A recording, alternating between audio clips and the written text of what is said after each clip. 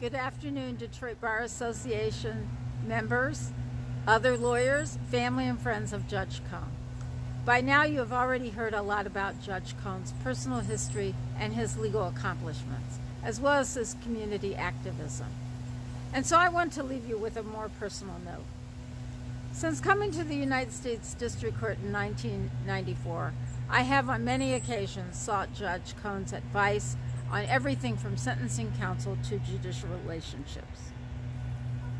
Judge Cohn is the most well-read and intellectual member of our, of our bench.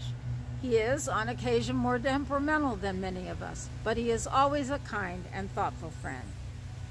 He gives advice, but he is not offended if you don't take his advice. And he has the history of the court and its judicial officers at, its, at his fingertips.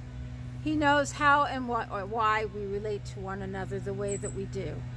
He tells us what to read and what to look out for. He knows about his religion and heritage, and he knows about ours. At my very first judges meeting, Judge Cohn and Judge Horace Gilmore got into a heated argument. It was not the kind of thing I expected at a federal judges meeting.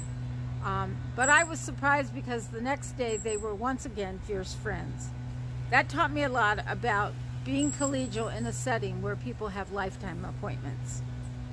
One time, Judge Cohn said that I only asked him to lunch when I wanted something, and that was only partially true. But the truth of the matter is, on each occasion, Judge Cohn either gave me an answer to my problem or my dilemma, or he showed me a way to solve it myself. All of us should work to be the best of what you are, Judge Cohn. Let me leave you with this quote from the Christian Bible.